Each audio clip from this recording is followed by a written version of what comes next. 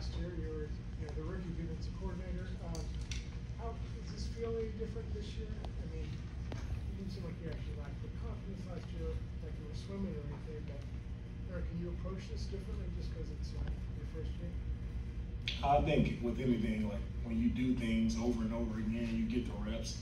You do get more comfortable with it. So then my second year doing this, there is a more of a comfort level in me doing it. But things from that standpoint, not a lot has changed. Still pushing the envelope to see how much better we can get, how much better I can be, to make sure our players understand exactly what we're looking for when we go out on that field. So for me, it's all about a daily strive in yourself to how better can you be than you were yesterday. So that's what it's been about for me. This second year around, how much better can I be? You know, it's OTAs, training camp. How much better can I be the second time around?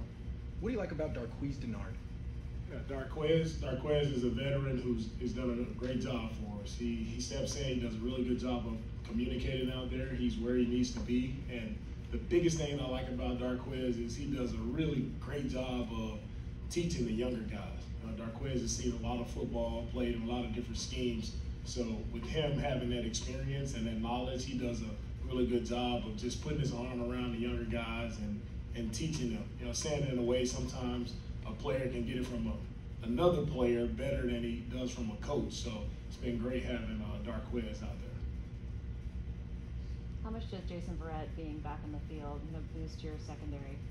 Yeah, Jason Verrett, just first and foremost, just his presence, just being out there, I think it, it, it lifts us all up. Just seeing JV, just the energy that he brings. Everybody's pulling for JV. You know, uh, had a you know tough injury last year, and we missed him a ton. So he's fighting to get back, and he's doing everything in his power to knock out his rehab and be in the best shape possible for when he's able to come back. So I'm excited just to just to see him around the building, just to see him talking with the guys. It's just it's great having JV and his presence felt in that room. Cory Undlin said it's so great to have him just in the room because of his knowledge and what he brings to just discussions about coverages. Right. Yeah, that's that's another guy like JV. He's he's done it. Like everything we're asking these young guys to do, he's done it, and he's done it at the highest level. You know, former All-Pro player, Pro Bowl player. Like if if there's anybody those guys can learn from, it's JV. So with him, again, and his how smart of a player he is, also with the talent, like his ability is just off the charts. So if I'm one of those young guys, I'm definitely sitting by him, talking to him as much as I possibly can. What have your impressions been of the young linebackers, Gemmel, um, Segun Olubi, and uh, McCrary Ball? Yeah, we got three three really good young linebackers there. I think they can they can help us. You know, they all all three guys, they're very very smart guys. All right, very smart guys, and like what I saw from them in college. You know, these guys can run, they can hit, they're physical, very athletic guys. So you can't. They're a really good scheme fit for what we do defensively, and I see them fitting right in. And those guys are also. It's, it's good. I know I spoke about it with the with the secondary, but also with our linebacker corps. When you can go into a room as a young guy and you have Fred, Azeez, and Dre in there, like you have no, you have no problem. You have no no way but to get better, right? You're listening to Fred Warner, you're listening to Dre, how they do things, how they operate on a day-to-day basis. Like those guys have, those guys gonna be really good for us, and they're gonna ascend quickly just because of the guys they're learning from as well. Have you noticed since DeForest Buckner was traded that Arik Armstead has, has taken on more of a leadership role? Has that been a conscious thing for him to, to be a tone setter and is, you know, being at OTAs and running down ball carriers 30 yards downfield in you know early June, I guess. Is that a is that a signal of that? Yeah, Arik has always been a leader since when Buck was here. I mean, Arik has been a leader in his own way. You know, he's done a great job uh, when Buck was here, and now that Buck is not here, Arik has, has done a fantastic job of leading that defensive line group. And he does it not only by talking; he doesn't have to talk. He's out there. He's working every day. He's running to the ball he's showing guys first and foremost how it should look. That's how you lead. You know, it doesn't have to be the loudest guy in the room, but you lead first and foremost by example and being accountable to your teammates every day, showing those guys that he really cares about them. And that's a, that's what Arik does on and off the field. So, you know, Arik is just a tremendous leader, and I, you know, very thankful, appreciative to have him to be able to coach him. You know, not only as a player, but all the stuff Arik does in the community. Always trying to highlight that. Like, that's what a pro looks like. He's done it the right way for many years. So, very, very happy for Arik and what he does. I know he's affected a lot of people outside of this building, a lot of young kids who back in Sacramento, the things that he do in the community. That's what I'm most proud of for Arik. Do, do you remember maybe when you when you first came here and joined the staff, when you first observed that about Arik and what that was like for you? Like, okay, I've seen him on tape and what kind of player he is, but um, when, when you first got to know him, when that really clicked for you that he was that type of leader? Just just being around him, spending time with him, you can you can tell right off the bat. Like he's a he's a difference maker. He, he was a he was a different guy, stuck out in that way right when you meet him. So it didn't it didn't take, it didn't take me long to figure that out. Like this is a this is a special special player, special guy here. So it, it doesn't take long to see those guys. Arik is truly one of the special guys in our in our league. Something you guys talked a lot about last year was what a surprise Ambry Thomas was, and he's someone who's done a lot of community work this offseason all over the world. What does that say about his maturity, really being so early in his career and, and so young? Yeah, for a young guy to do the things that he's done, it's uh, it's great to see that. You know, as a young, because you, you don't see many young guys get in, but you just see. I think you just see the guy's heart. You see what he's what he's truly about. You see his character right off the bat, and that's the first thing he wants to do. His first true off season is to go and, and help out, go and reach back and help the community. So that's uh, it was cool to see that from Ambry. And Ambry is he's still still growing as a player, as a, as a young man. We're all growing, and he'll continue to you know ascend and do better. It seems like you've had confidence in Talanoa Hufanga since he got here last year. What inspires that confidence, and has he taken his game to the next level in year two? Uh, the confidence in, in Huff is just his daily approach, right? I mean, it's not a surprise to me that Huff plays well, that he does great things for our team because of his approach every day. So it's not like you get out there on game day and he surprises me because I see the way he works. I see the way he's in the building. He's always asking questions in meetings. He's always looking to get the answer and get it right and get it done exactly how we want it done. So it's just his consistent approach daily.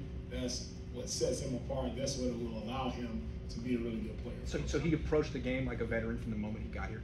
Day one, Day one. you know, day one, Huff has been a pro. Got it. Day one, and it hasn't changed, right? And that's uh, that's something a lot of young guys they don't they come in that way kind of, but Huff has been consistent. Sometimes it dies off, but Huff has been that way day one, and he's still that same way right now. You know, so, so really, really happy with where Huff is.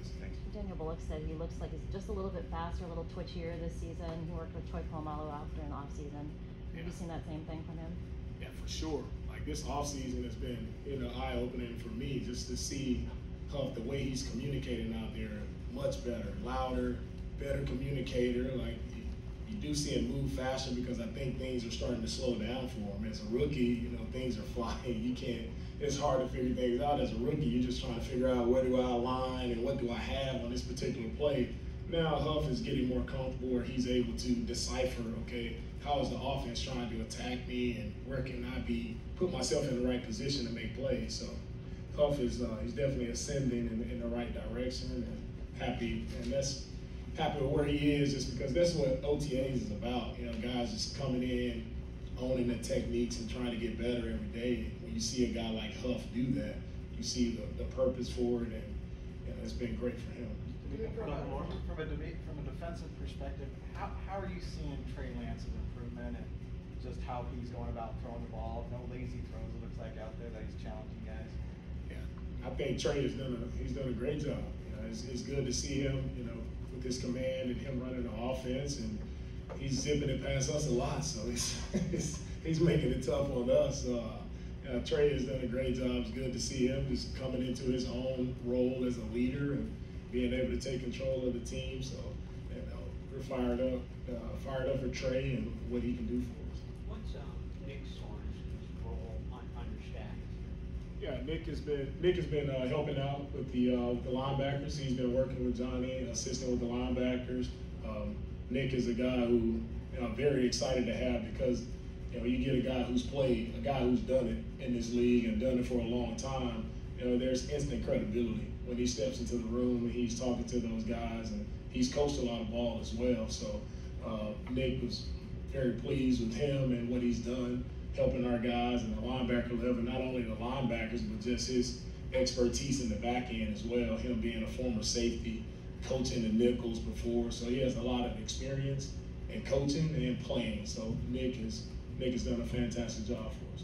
Nico, why didn't you, um, have a second interview last year with the Vikings, or this year?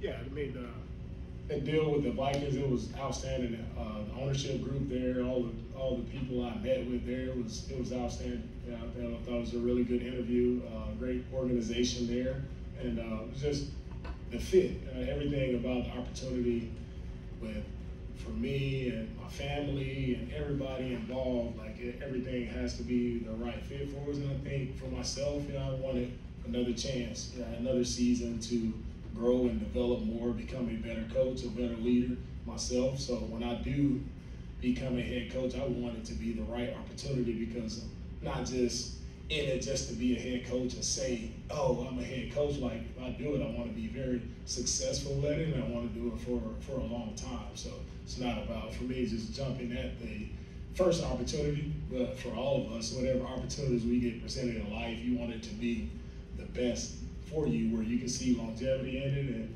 and make a lasting impression and be able to impact lives just beyond just me. It's not about me, it's about all the people who uh, serve and making sure that I'm in that right fit where I can serve in a capacity where I can really impact a lot of people. We're really close to Johnny Holland. How good is it to have him back on the field?